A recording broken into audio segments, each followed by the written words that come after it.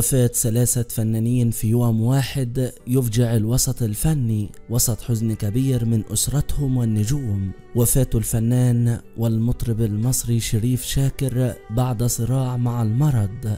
أعلن الفنان علي الألفي وفاة المطرب الشاب شريف شاكر بعد صراع ومعاناة مع مرض السرطان. وقال الفنان علي الألفي من خلال حسابه الشخصي على موقع التواصل الاجتماعي فيسبوك إنا لله وإنا إليه راجعون. شريف دلوقتي تعافى. راح لرب العالمين الرحمن الرحيم. راح عشان ينول جزاء صبره. واحتماله للمرض الشرس وجزاء مساعدته للناس ودعمهم بكلامه وحكاياته.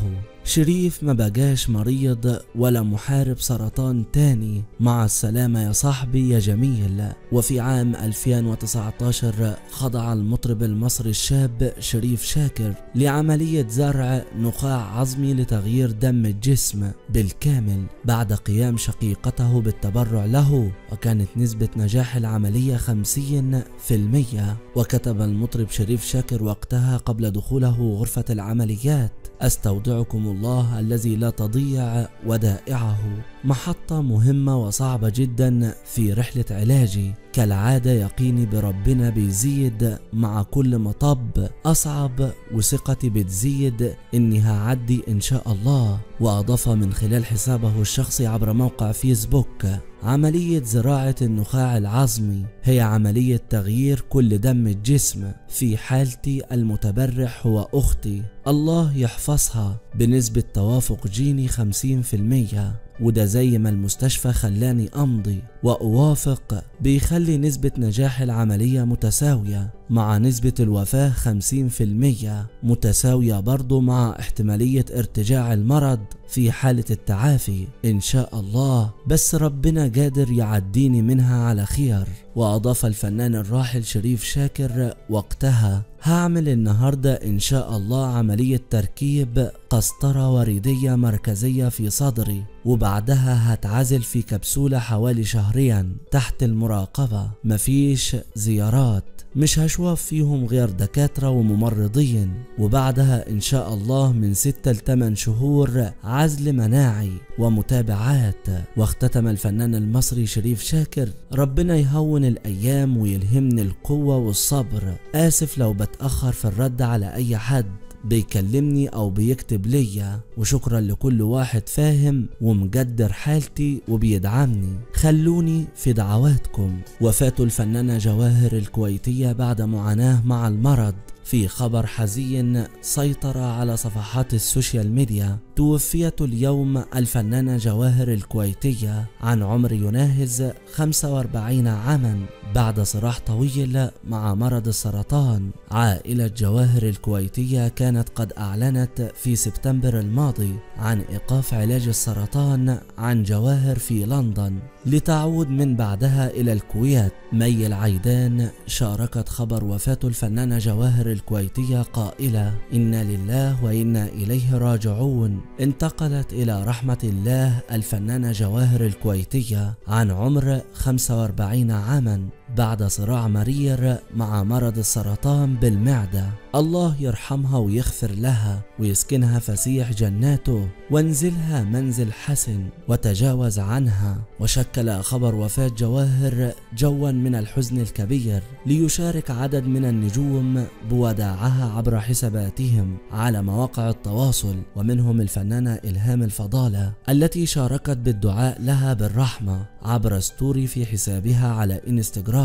كما شاركت هيا عبد السلام صورة الراحلة عبر ستوري في حسابها على إنستغرام وكتبت قائلة الله يرحمها ويغفر لها ويسكنها فسيح جناته. ونشرت شذا وشيماء سبت بالدعاء لجواهر بالرحمة والمغفرة. فكتبت الفنانة شذا على حسابها في إنستغرام لا حول ولا قوة إلا بالله. وإنا لله وإنا إليه راجعون. الله يرحمك ويغفر لك يا الغالية. وحبيبة قلبي والله يصبرنا على فراقك. اللهم احسن إلى جواهر إن كانت محسنة وتجاوز عن سيئاتها. اللهم اغفر لها وآنس وحشتها ونور قبرها واجعلها روضة من رياض الجنة. اللهم ارحم من توسدت أجسادهم الأكفان واجعل قبورهم خير مسكن حتى تقوم الساعة. اللهم اجعلها في بطن القبر مطمئنة وبجود رضوانك واثقة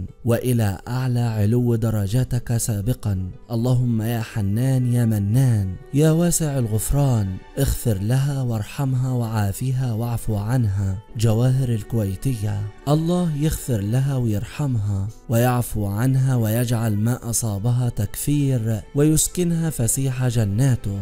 وفاة الفنانة جواهر بعد صراح طويل مع مرض السرطان. وكانت الفنانة جواهر الكويتية قد خضعت لعملية جراحية في لندن بعد تعرضها لنزيف حاد بسبب إصابتها بسرطان المعدة وظهرت بعدها للجمهور وعلى وجهها علامات التعب الشديد ونقص الوزن. كما تحدثت الفنانة جواهر عن سعادتها بالخروج من المستشفى وانتهاء حالة الخطر بعد الجراحة الأخيرة التي خضعت لها وشاركت رسالة شكر لجمهورها عبر حسابها على سناب شات وقالت اللهم لك الحمد والشكر دائما وابدا. أشكر الجميع على سؤالهم عني. ما قصرت بميزان أعمالك يا رب. والحمد لله على كل حال.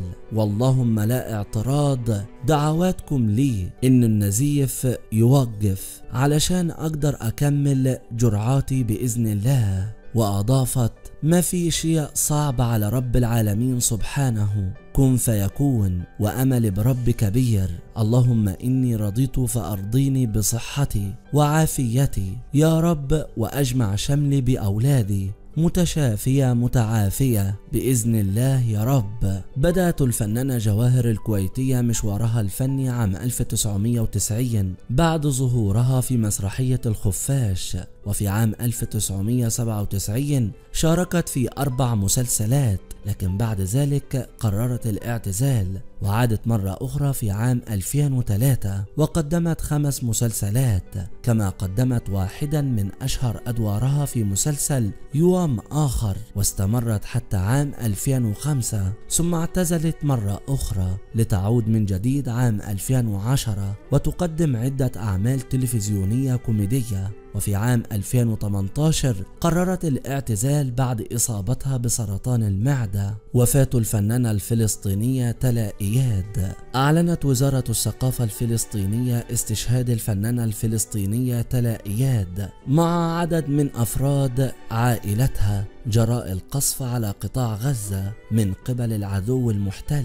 وقالت وزارة الثقافة الفلسطينية عبر صفحتها الرسمية على موقع التواصل الاجتماعي فيسبوك رحم الله الشهيدة الفنانة تلا إياد والتي استشهدت جراء قصف قوات الاحتلال الإسرائيلي الوحشي على قطاع غزة. وذلك مع العديد من أفراد عائلتها. ولم تكن الفنانة تلا إياد الفنانة الأولى التي تنول الشهادة بل سبقتها الفنانة حليمة عبد الكريم الكحلوت وأيضا الفنانة إيناس السجة مع ابنتيها. كذلك أعلنت الصفحة عن استشهاد الفنانة نسمة أبو شعيرة.